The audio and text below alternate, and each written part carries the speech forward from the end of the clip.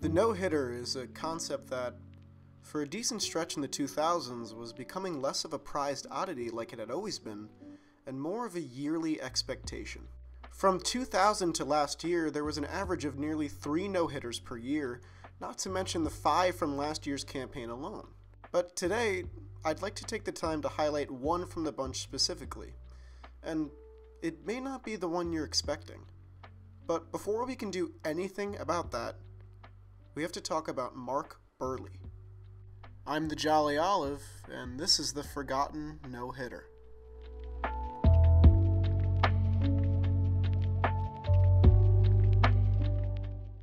Now, if you were growing up in the 2000s as a baseball fan, you probably know who Mark Buehrle is, but if you don't, all you really need to know is that he has over 200 career wins with a career ERA of 3.81 over 16 seasons. But we're not talking about Buehrle's entire career, we're talking about one game specifically, and if you know where I'm headed, then you know that this game is an all time classic.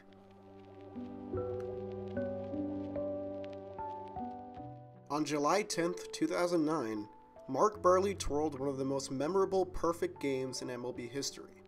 Now, you may be thinking, well, isn't every perfect game memorable just on account of what it is? It differs from a no hitter in that perfect games mean no runner reached base at all, whether it be by a walk, a hit by pitch, a drop third strike, or an error. Buehrle's game stands out for more than just being a perfect game. At this point in 2009, MLB fans had gone five years without seeing a perfect game. Now, this perfect game was a little bit different because of the opponent and because of how it ended. The Tampa Bay Rays, who had the second highest OBP in the league at 343 at that point, couldn't stop Buehrle even once on this day.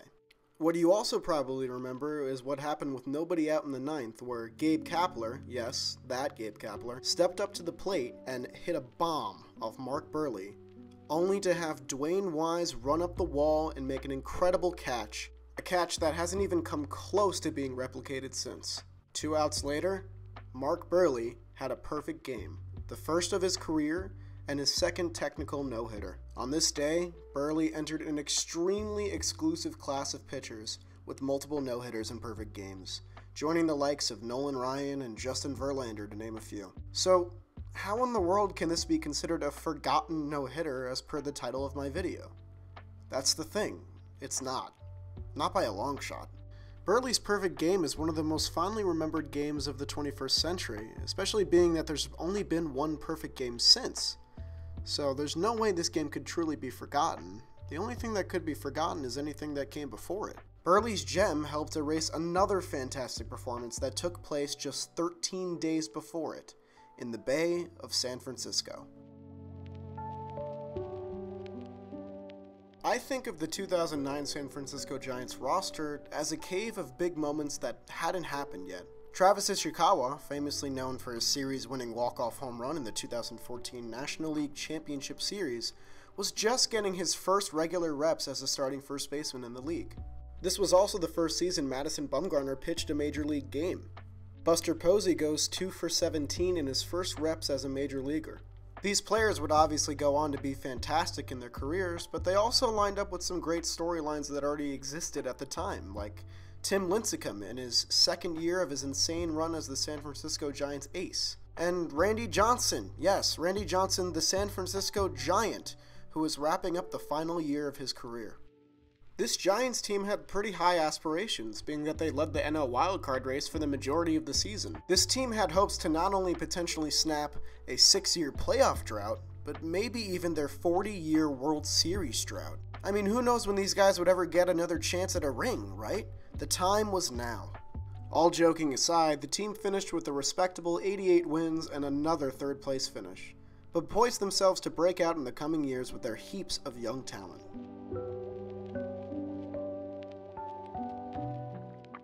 Even if you consider yourself to be an avid baseball fan, you may not recognize the name Jonathan Sanchez, and for valid reasoning. With a career ERA of 4.72 and a merry-go-round between the bullpen and rotation with several different teams over eight years, Sanchez's career was a roller coaster.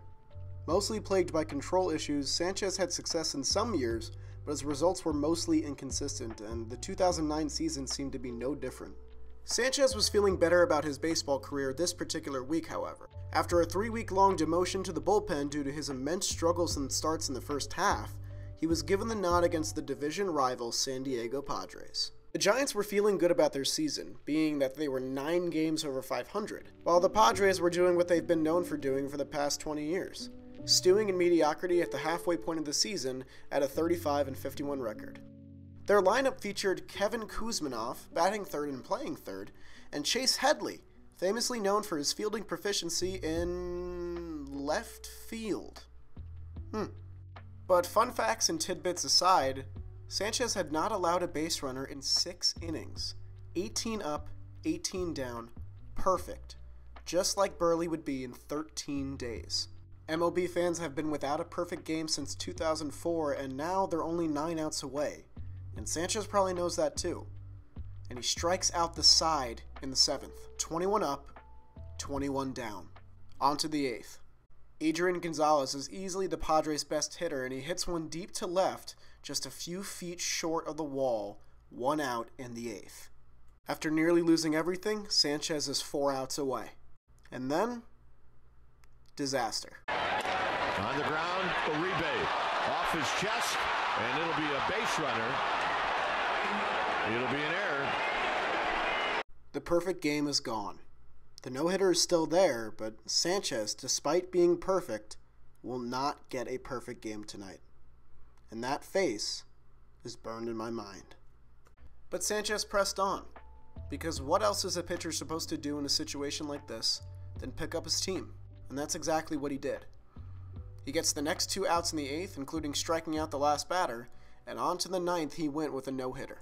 He gets the first out via groundout, Padres outfielder Edgar Gonzalez gives one an absolute ride, but Aaron Rowand is there to meet the task, crashing into the wall to get the second out in the ninth.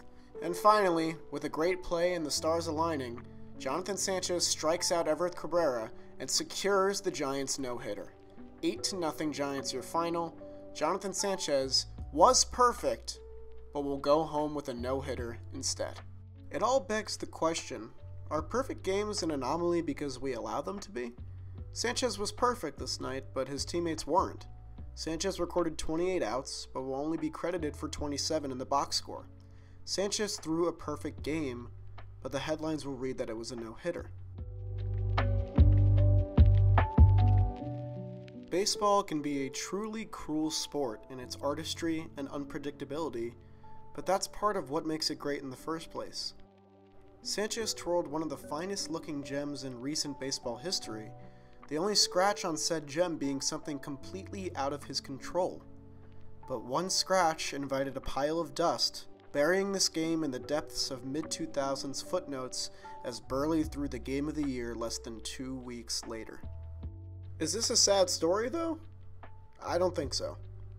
Sanchez set out to do something amazing and he finished the job, and he will forever be remembered because of it.